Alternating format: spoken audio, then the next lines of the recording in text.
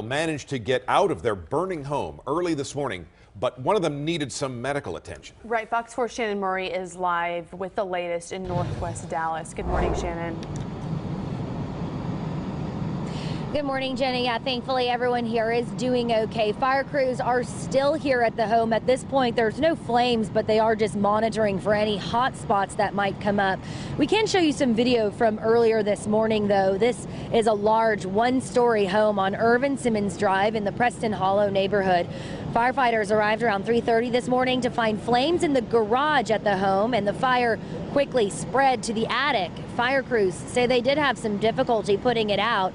A husband and wife were inside the home. Both made it out safely. They do live here with their adult son.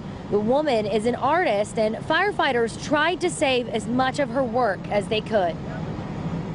I could tell that she was an artist. There was a lot of paintings inside the house. Uh, we did go to quite a few precautions to save as many of the paintings as we can. We've got those stacked in the back of the uh, backyard and then again in the front yard.